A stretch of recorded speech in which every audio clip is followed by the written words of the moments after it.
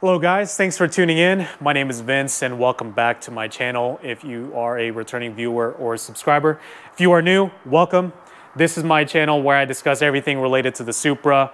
Um, if you guys can think of it, I probably made a video about it. So check out my channel and hopefully you guys enjoy. If I didn't discuss something that you guys are wondering about, leave a comment down below and let me know so I can make a video about it. But you're tuning into this video because it's been two years since I purchased this car. It still feels like yesterday. I really, really love it.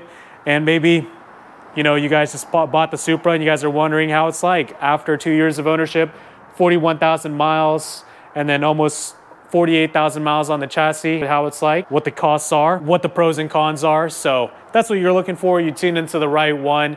Uh, check out the bookmarks or the chapter links down below so you guys can jump to those specific sections if that's what you're wondering about. But if not, let's go hop into it and let's discuss why I love this car so much and maybe those things why I don't like it so much.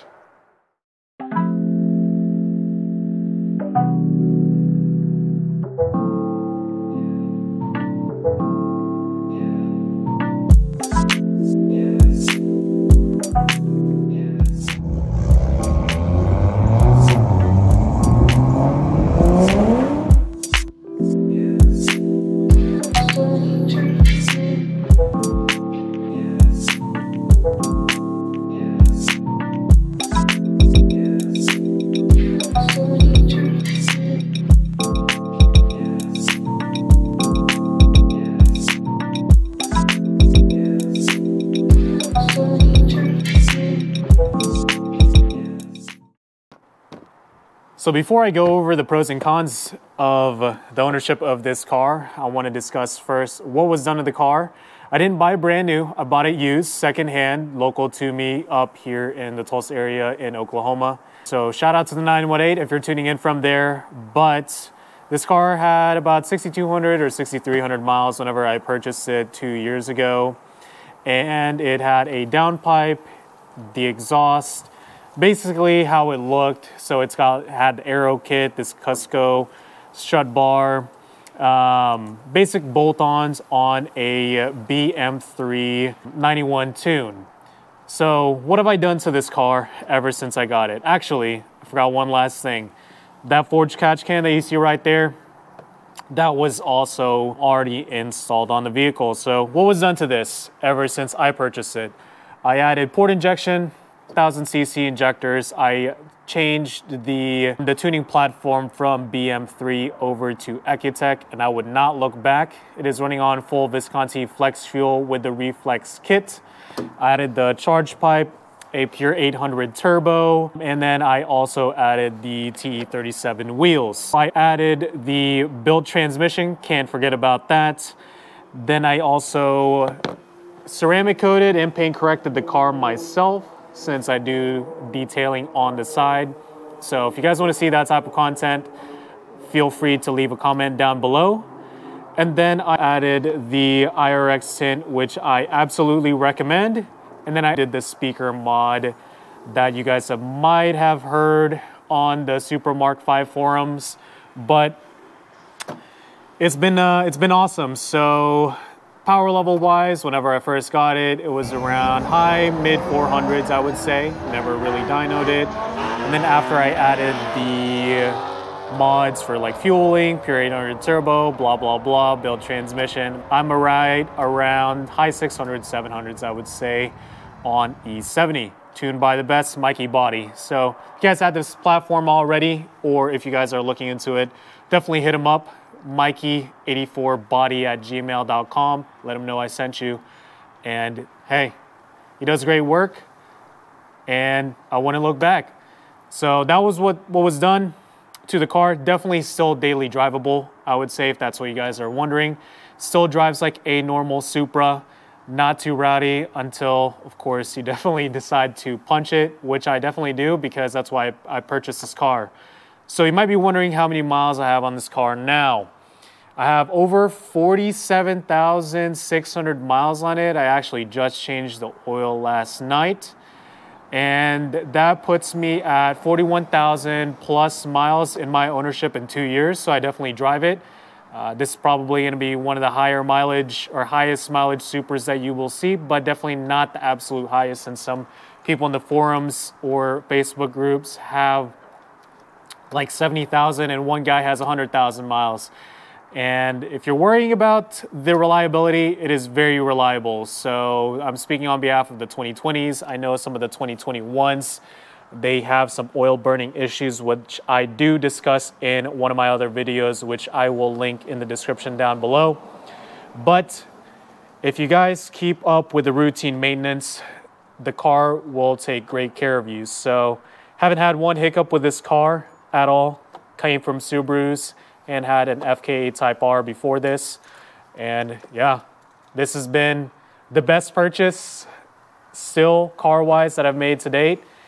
And yeah, I would stand by that until the end of time, unless I get offered a GT3 RS. So now that we've covered that, let's discuss what makes this car so awesome in my two years of ownership. So we're here at the front of the car. Pros, definitely, it's fast and fun. Uh, definitely puts a smile on my face. It's also a very reasonable car in terms of maintenance. So like I mentioned earlier, I mean, for me, it's been very, very reliable and there's plenty of owners out there with varying mods that can agree with me is that this car has been very reliable for them. If you keep up with the maintenance, oil changes, and you're not just absolutely beating on it, acting all stupid with a car, then it's gonna take great care of you. It's gonna be very, very rewarding personally the most rewarding car for me to ever drive. And I've had an S2000, FK Type R, multiple Subarus. And personally for me, this would take the cake out of all the cars that I've ever owned in terms of enjoyment. It's also very practical for my needs. So I don't have a family. Um, I'm not married. So whatever I need to carry definitely can fit in the back of that trunk. So if you guys haven't seen how the trunk looks like or how big it is, I will add some B-roll footage for you guys here so you can see how it looks like. But even still, I've been able to fit multiple people's luggage in there, myself and my passenger, as well as whatever else I need. Might be a little bit tight in there, but it is definitely doable. It is also reasonable with the miles per gallon. So they always say miles, miles per gallon, which I am completely down for. But even on E85, I still get mid to high 20 mile per gallon range. And then of course on pure gasoline 91 or 93, I'm able to get high 20s consistently and even mid to low 30 miles per gallons. So not that often that you can drive a car like this that does what it does, that can get that great gas mileage, especially for a daily driver. I guess you can kind of consider this as a pro, really depends on who you are, but the attention that it gets. Yeah, this thing gets a lot of attention. Um, definitely love to talk about it with anybody, especially the younger car enthusiasts, because I was like that too you know, dreaming of being able to purchase something like this and being able to do it, letting them know that, hey, if I'm able to do this, if you're watching this and you're, you know, younger than me, I'm 30 right now, you definitely can do it. I'm not the smartest dude, but thankfully my God dealt the right hand and I was able to purchase this. So it is also very comfortable and very modern with the technology. So it comes with an Apple CarPlay. If you're in the Android crew, I'm sorry, this doesn't have Android Auto but it does have radar cruise control for the premium models if you're talking about 2020s. But I think on the 2021 pluses, I'm not 100% sure it became standard. But either way, very modern, very reliable. You get the heads up display for the 2020 and then certain A91 models. But if you get the chance to go for a 2020, go ahead and snag one up. They're going down in price as of making this video because if you guys were keeping up with the car market previously, like during the COVID, well, post COVID, everything was just absolutely insane. So now they're going down in price. I would say it's a heck of a deal, but I'm a little bit biased. So those are the pros of this car. Um, I would definitely say, even as as I discuss the cons in the you know the section coming up here, it would definitely still be worth it for me. But anyways, you guys tuned in for the pros and cons. Let's cover the cons of this car. All right, so to the nitty gritty of things, the cons of this car. So first con I can definitely think of, and depending on your use case and what you get, where you guys are at with life, it is definitely a small car, two doors, sports car. It is not the biggest, so the relative lack of space will probably be a big impact in your decision making if you were to daily drive this car. But if this is going to be your weekend car, I can't imagine the lack of space would really worry you just because this car, that's not what the purpose of it is. But it is still definitely daily drivable, so just be aware of that.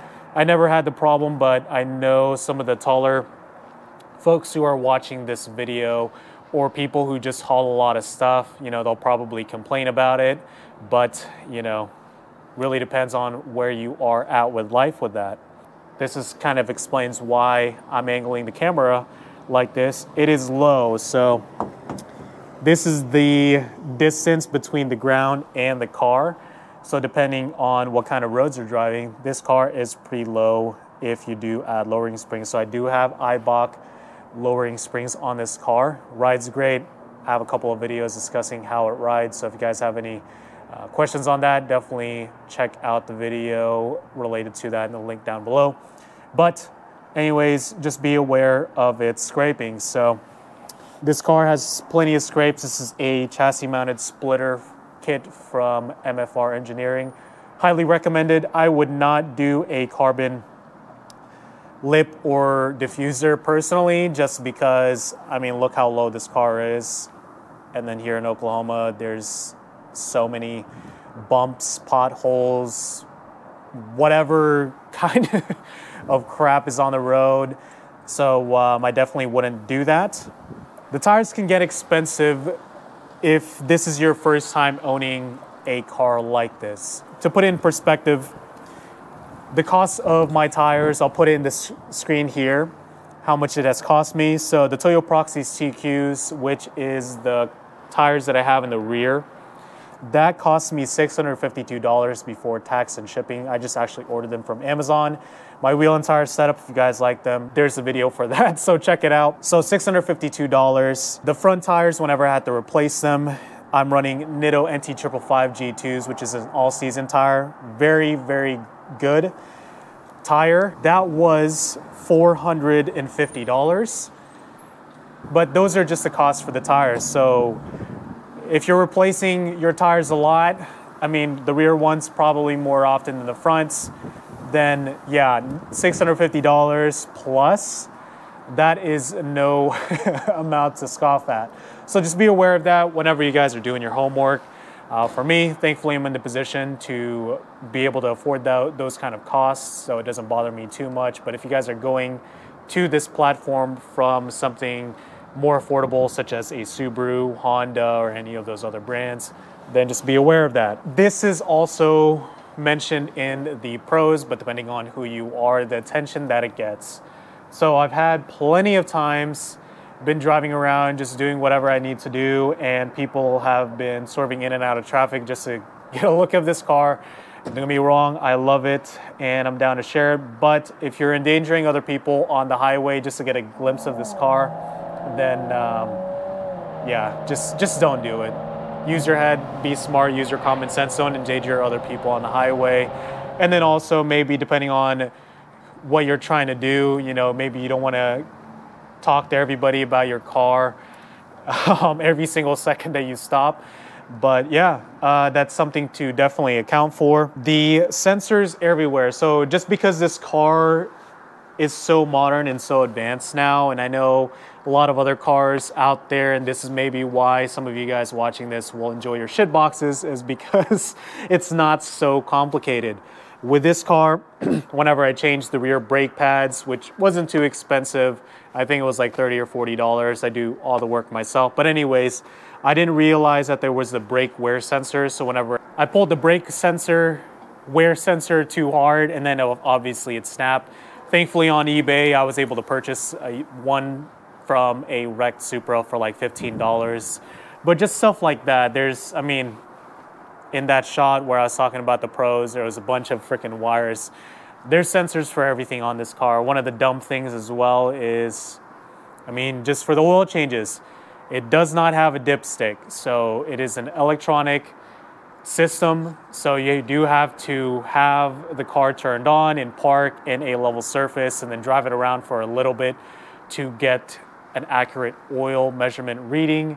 So if that's not your thing, if you don't like that, then sorry, too bad, so sad. There's no other alternative. That's how this car does it. If you didn't do the speaker mod, and I'll link the speaker mod to what I'm what I'm referring to in the description below. Basically what that is is that if you have music or if you listen to music that is very bass heavy or even where the mids are really powerful, there is not a way for the air or the sound waves to escape from the back of the car. So it just gets trapped there. And obviously, what does that do?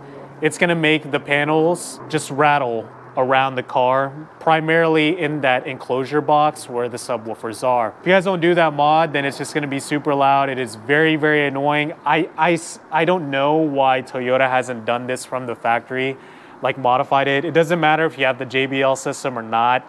It's gonna do that for all of them. If you guys are gonna do this, highly recommend for you to do that. It takes maybe four or five hours to do. You'll need a Dremel and some tools. Um, the forum post is gonna be detailing what exactly you need and what the steps are. It's not, it, it, is a must, I, I would say that. Last thing is that, I mean, this is kind of just creature comforts, especially for a car in this price range. It doesn't, it has heated seats, but it doesn't have cooled seats. It doesn't have a heated steering wheel. And then some of those more premium creature comforts are not available on the car. Even though I mentioned that it's great that it has radar cruise control, it has the, uh, you know, also mentioning the auto dimming mirrors, which is fantastic. It doesn't have those things. I really wish that it does because a lot of cheaper cars now than this car, and even some of the other sports cars I can't think of off the top of my head, they do have those features. So it's a it's a big bummer that you know Toyota didn't go ahead and add those to this car, but hey, whatever. Um, regardless of these cons, honestly, a lot of them, it's not a kind of like a catastrophic thing to worry about. So hopefully that does help with your guys' decision making, knowing the cons of this car. But personally for me, I still have this car, still very happy with it. I wouldn't regret any bit of it, and it is definitely worth it for me. So now we're on the side of the car so you guys can bask in the sweet glory of these T37 sagas. But to wrap everything up, hopefully you guys are still at this point and you guys enjoyed this content. Hopefully the pros and cons and those costs that I outlined um, helps your decision making. It is not honestly like a super expensive car to own and maintain. I mean, like the oil changes, for example, you can buy. I'm running 5W40, sorry, 5W40 Rotella T6 from uh, Shell. You can actually buy that at Walmart for $26 per gallon. So of course I get two of those.